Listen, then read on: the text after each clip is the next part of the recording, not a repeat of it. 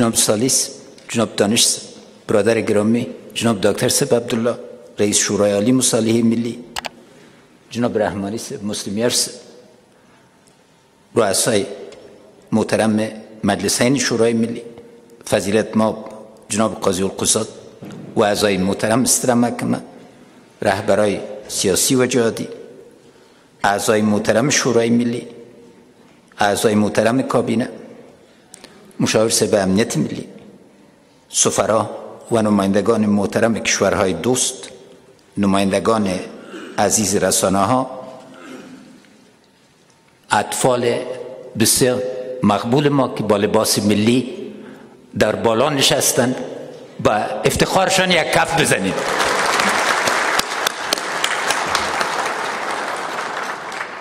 خیر کنید. السلام علیکم و رحمت الله برکاته. نهایت خرسندم که یک بار دیگر در حضور شما نمایندگان منتخب ملت بزرگ افغانستان در شرایطی که ضرورت به بحث و گفتمان نسبت به هر وقت دیگری بیشتر است در شورای ملی قرار دارم و سال سوم تقنینی دوره کاری افدهم شورای ملی افغانستان را افتتاح می کنم مبارک دمی انتظار و توقع ملت در این شرایط از همه ما زیاد است.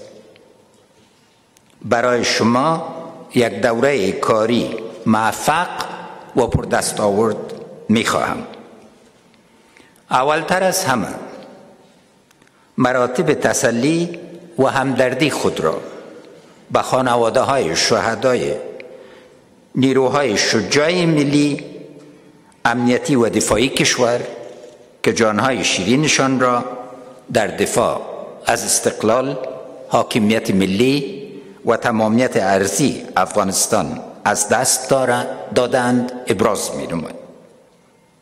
در این اواخر موج از حملات هدفمند بر اهداف ملکی. قسمت کلان آن بر نخبگان و آینده سازان جامعه ما از جمله علمای کرام خبرنگاران فعالان حقوق بشر و جامعه مدنی زنان فعال و توانا در جامعه کارمندان ملکی دولت و جوانان نخبه صورت گرفت. این حملات هدفمند در حقیقت ترور افراد نیست بلکه حمله بر حال و آینده این ملت است. حمله بر اطفال ماست حمله بر فکر و عمل است که آینده روشن افغانستان را ترسیم می کند هدف این حملات پخش رب و مایوسی در جامعه نسبت به آینده ماست. در نتیجه این حملات تروریستی و ضد بشری در چند ماه گذشته شخصیت های تاثیرگذار زیاد را از دست داده. آرزو داشتم نام های تمامشان را اینجا یک یک یک بگیرم. در حالی که نمی‌توانم نام های هر یکی از این زنان و, مرد و مردان وطن دوست را به تفکیک. اینجا یادآور شوم به گونه جمعی به تمام خانواده های خونی و معنوی آنها تسلیت می گویم انا لله و انا الیه راجعون. از همه تقاضا داریم که در دعای امروز و روزهای آینده خود این شهدای آزادی دموکراسی و مردم سالاری افغانستان را از یاد نبرد. د ملت محترم استاسو خویند و ورونو ګرانو وطنوالو. اساسی قانون زموږ ملي وثیقه ده. ملي شورا د دې وثیقې په اساس د لوړ تقنینی رکن په حیث د ملت د اراده مظهر ده او د ټول ملت نمایندگی کوي تاسې د ټول ملت نمایندگان د اساسی په قانون پرانا کې د دې مهم رکن پاکله زما دیدگاه او لید بالکل واضح ده. ما د دولت د رئیس په توګه همیشه د قواو د تفکیک په اصل او د ثلاثه قواو ترمنځ پر همکاري تاکید کړی. ځکه دا د جمهوریت تر ټولو اساسی اصل دی. د ملي شورا مجلسینو په سختو شرایطو کې له حکومت سره اوږه په اوږه قدم ایښی او د یو بل په کارونو تکمیلي کړي کله کله د ملي شورا حکومت ترمنځ د نظریاتو توافق تفاوت هم وي اما زیاتره په دې توانیدلی یو چې د نظریاتو تفاوت د مذاکراتو او خبرې لارې حل کړو د نظریاتو تفاوت څه معنا دا معنا چې د دولت ارکان مستقل عمل کوي او هیڅ رکن په بل رکن باندې خپل نظریات نه تحمیلوي. زموږ د جمهوری نظام قوت په همدې کې ده او ټول د ملي شورا له غړو نه د هغوی له همغږي او همکاري نه د زړه له کومې نه مننه کوو په دې فرصت کې غواړم له تاسو نه د زړه له کومې نه مننه وکړم چې د کابینه غړو ته مو د اعتماد رایه ورکړه او د یو زرو څلور سوم مالی کال بودجه مو تصویب کړ او نور مقررې به ډېر زر انشاءالله تعالی تاسو ته وړاندې سي حضار محترم. رسیدن به صلح پایدار برای ما نه تنها یک خواست و آرمان بلکه یک هدف مقدس است. در حالی که اعلامیه های جهانی و قانون اساسی ما حقوق فردی شهروندان ما را تضمین می کند چلو دو سال است که ملت ما از اساسی ترین حق جمعی خود که حق زندگی صلحآمیز است محروم بوده است. مردم ما خواهان خاتمه این جنگ هستند. خوشبختانه فرصت که امروز برای رسیدن به یک صلح واقعی و پایدار که من آن را صلح مثبت مینامم به وجود آمده است. در 42 سال گذشته این فرصت بی‌نظیر است. شش سال کار شبا روزی همه ملت و همه ما به اساس یک گفتمان ملی و بین‌المللی هدف را قابل محصول ساخته است. من خوشحالم که اولویت و استجالیت را که از اولین روز کارم به عنوان رئیس جمهور برای رسانیدن مردم افغانستان به اکسل پایدار مطرح کردم همان استجالیت امروز به سطح افغانستان منطقه و دنیا مطرح است. مردم و دولت افغانستان بیشتر و بیشتر از هر کس دیگری این استجالیت را درک و احساس می کند ما زمان به صلح پایدار می رسیم که مردم افغانستان خود را در صلح سهیم ببینند و مالکیت آن را داشته باشند برایتان وعده مسپارم که هیچ تصمیم در مورد سرنوشت افغانستان بدون مشوره متداوم سهم مستقیم و تایید تمام اقشار مردم افغانستان صورت گرفته نمی‌تواند. د ملت محترم و استاسو قدرمند و حضارو. زموږ د تیرو شپږو کالو تجربو دا وښودله چې سولې ته رسیدل تل تش خیال نه دی. پایدار سولې ته رسیدل ممکن دي.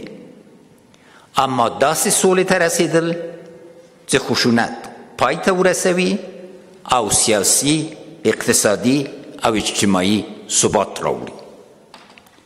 تدبیر غواړي ژمنه غواړي او فداکاری غواړي بیا یې تکراروم داسې سوله تدبیر ژمنه او فداکاری غواړي. لومړی له تدبیر نه مې هدف څه ده؟ تاسې ټول پوهیږئ چې زه تاریخ یو دوامدار شاګرد یم. زما د تاریخ مطالعه او شخصي تجربه دا ښیي چې د سولې اکثریت هغه موافقې چې بې له تدبیر نه په بیړه ترسره شوي او فرصتونه او خطرات پکې په واقعي ډول په نظر کې نه دي نیول شوي په لومړیو پنځه کالو کې له بده مرغه ناکامې شوي. او د خشونت د ډېرېدو د نظام د ړنګېدو او د ملتونو د بدبختي لامل شوي دي. دا مثالونه موږ په خپل معاصر تاریخ کې لیدلي.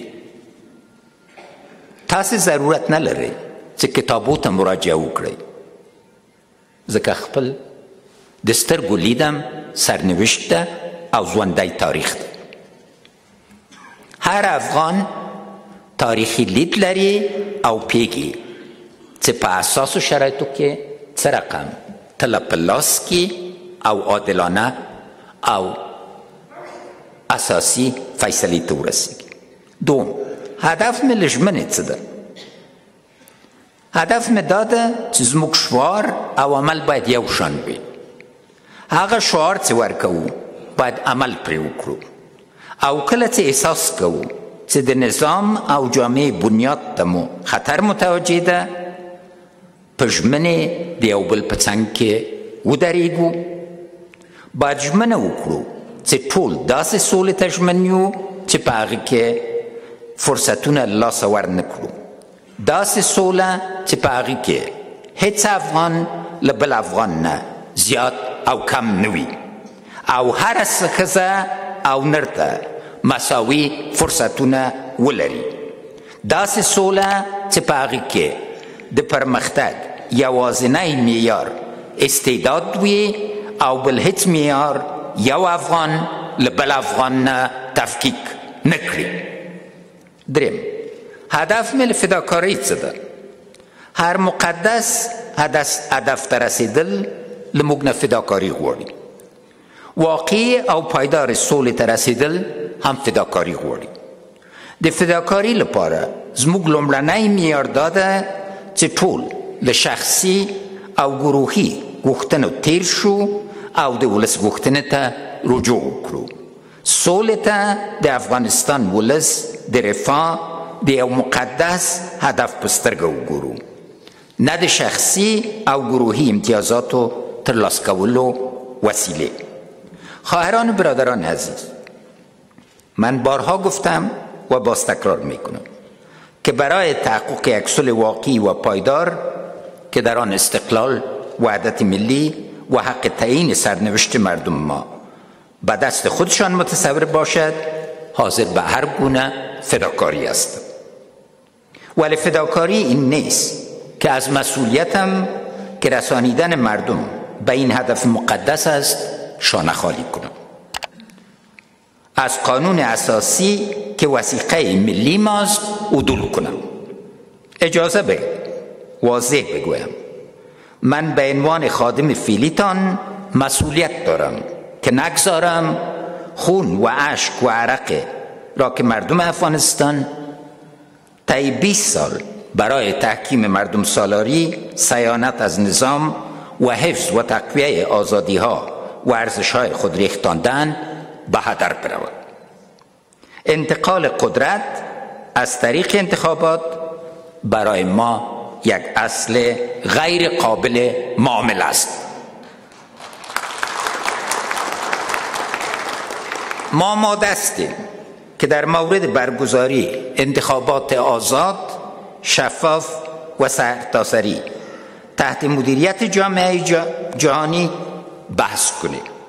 در مورد تاریخ برگزاری انتخابات هم می توانیم صحبت کنیم و به نتیجه برسیم. به همین دلیل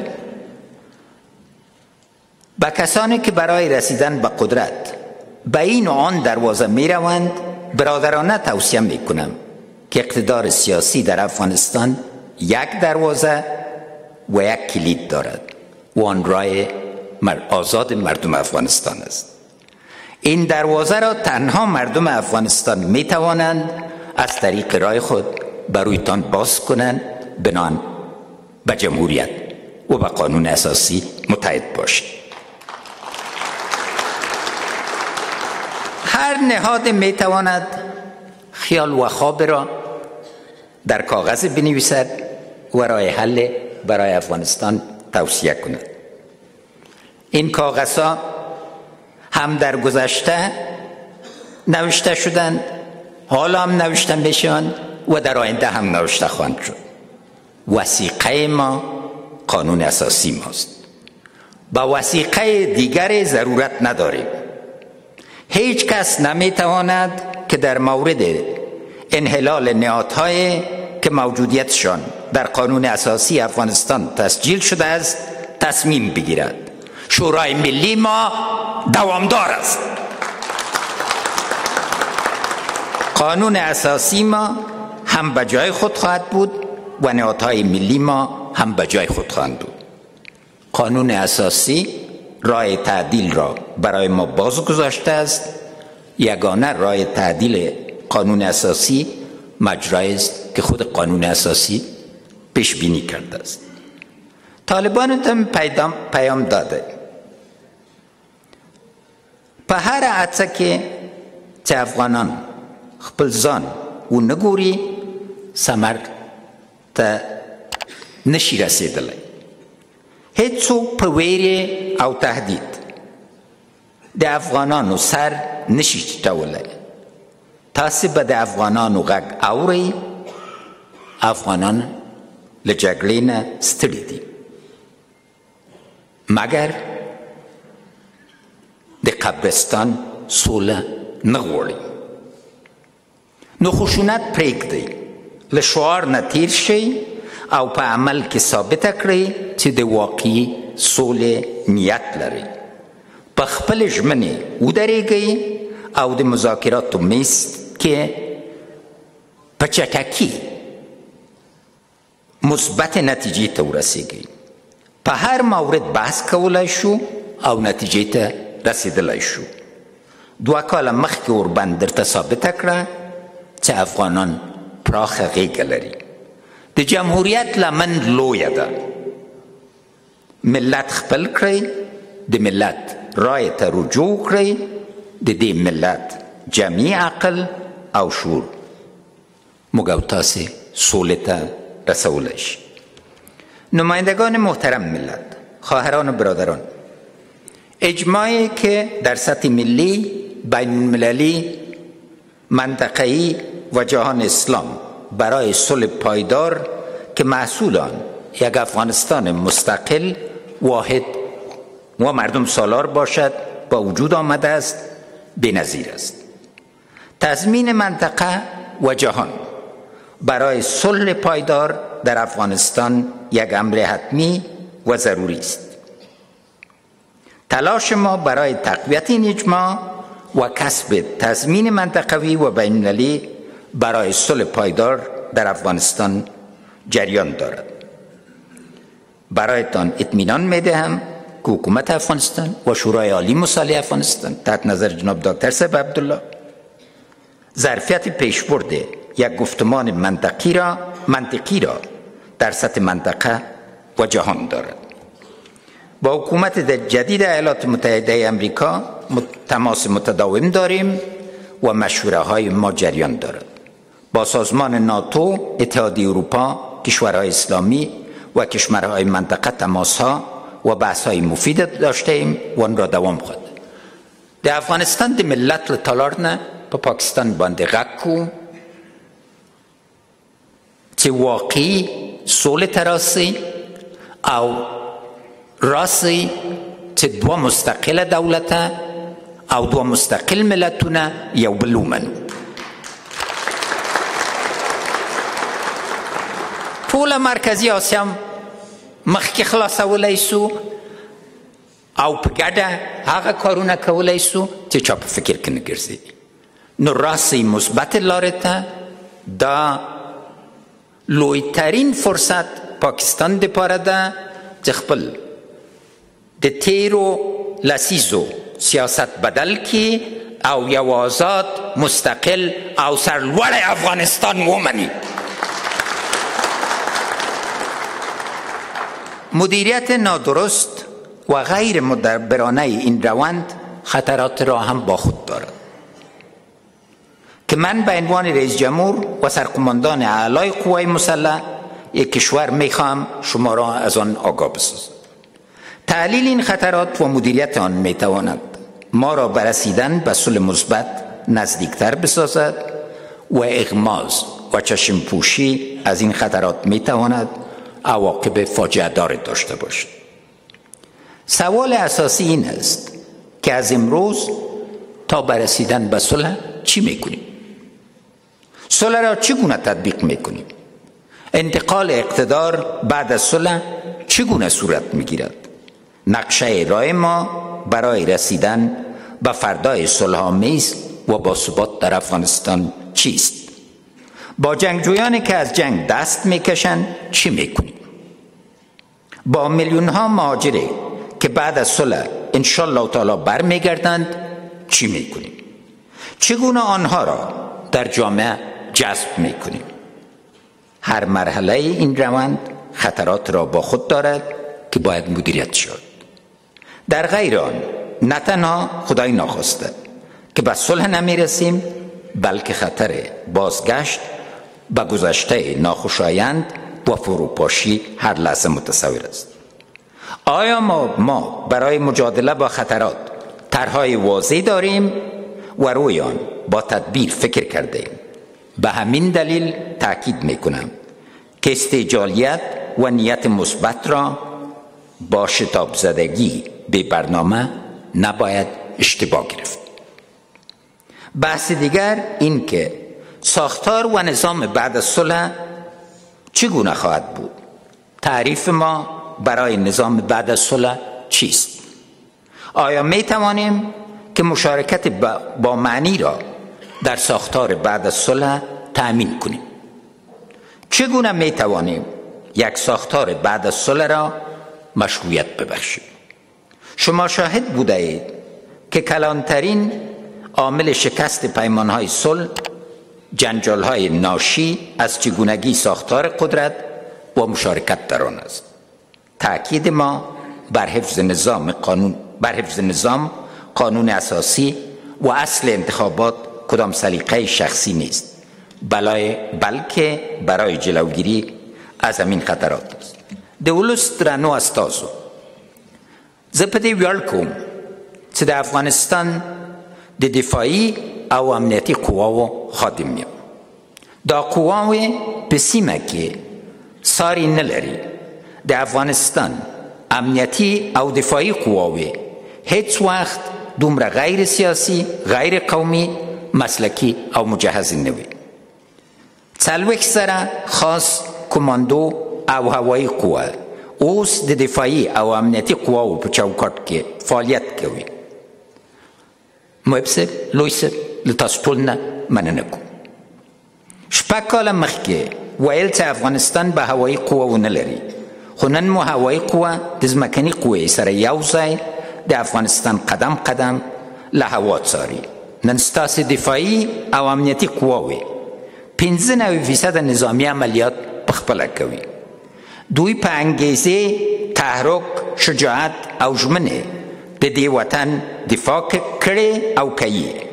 په تیرو څو میاشتو کې مې هره ورځ د اول خط له سربازانو بریدملانو او افسرانو او د دفاعي او امنیتي قواو د شهیدانو له کورنۍ سره خبرې کړې دي. ستاسو د دفاعي او امنیتي قواو انګیزه مورال او ژمنه ډېر لوړ او نه ماتېدونکي دي هر وار چې د شهیدانو له کورنیو سره خبرې کوم او د بچو شجاعت او سربازي یادوم سره له دې څخه غمجن دي خو بیا هم د هیواد خاورې او ملي نوامیسو د دفاع لپاره د خپل بچو شهامت یادوي. او حاضر دي چې د هیواد او ملي نوامیسو د دفاع لپاره خپل نور بچي هم د جنگ اول خط ته ولیږي زه د هیواد دې زړورو بچو ته د تعظیم سر ټیټوم او کورنۍ سره ژمنه کوم چې یوه لحظه به هم خدمت که غفلتونه کرم لحمده فرصت نه په استفاده اعلام کوم چې د نوي کال په ابتدا کې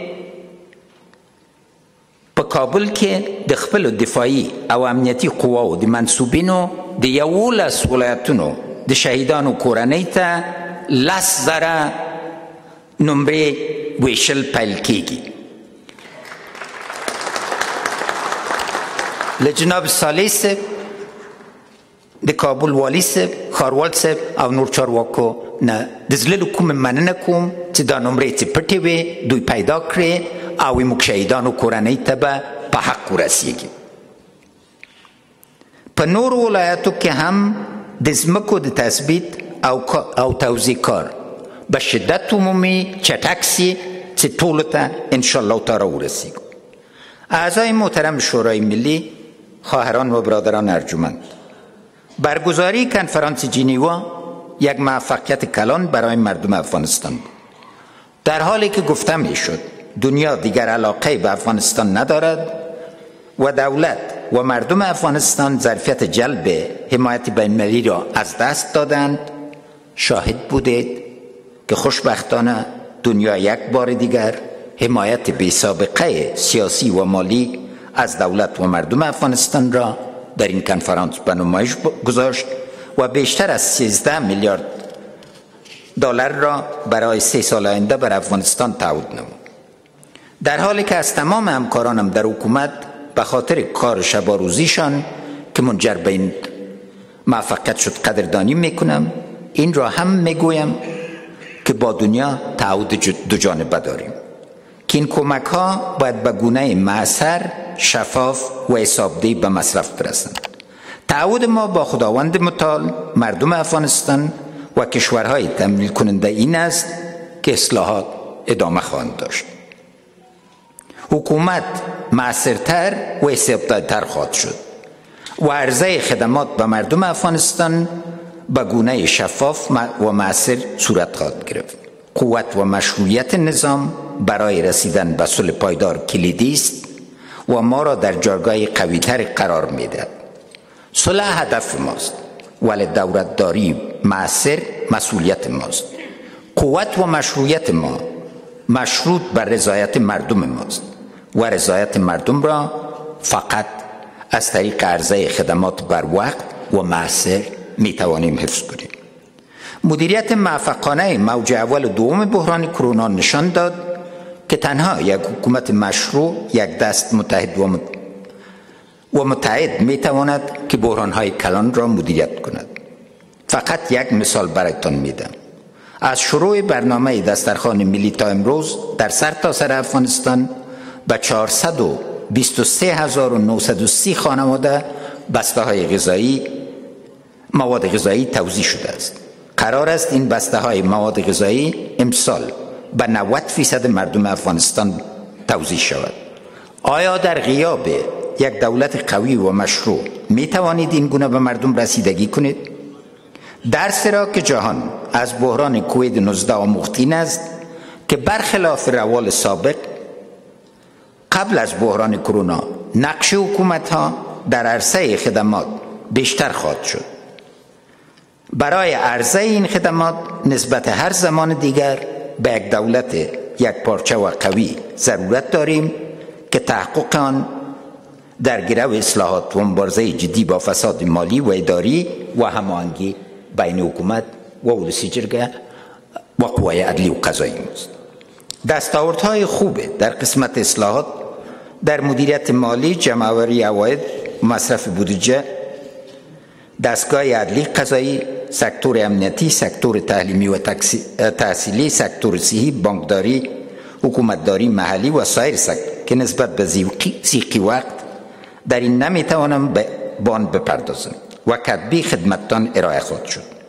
من به عنوان رئیس جمهور هر لحظه وقت خود را برای بیبود هرچی بهتر حکومتداری و بلند بردن سطح پاسخی حکومت مصرف می کنم راه دراز پیش رو داریم و ضرورت به کار بیشتر تعهد بیشتر و همانگی بیشتر داریم. د ملت محترم و استاز و خویند ډیر به حکومت تاسو سره د اته ملي برنامو طرح شریک کړي. د دې ملي برنامو تطبیق به د دې باعث شي چې د افغانستان ولسته خدمات په معصره توګه وړاندې شي او د منابعو د زیات کېدو مخه ونیول شي دا اراده هم لرو چې د یو زرو څوارلسم کال په لومړیو سل ورځو کې هر ورځ یو ملي پروژه افتتاح کو او یا ملي ابتکار اعلان کړو د دې کمپاین پیل به د کمال خان له بنده ان شاء الله تعالی وي